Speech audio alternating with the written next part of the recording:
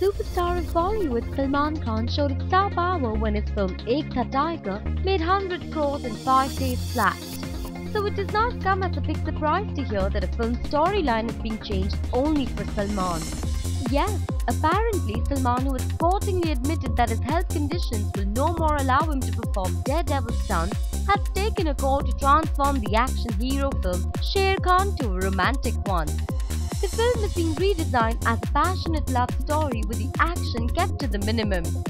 While this might come as a disappointment to many Salman fans, we should appreciate that he will be doing at least some.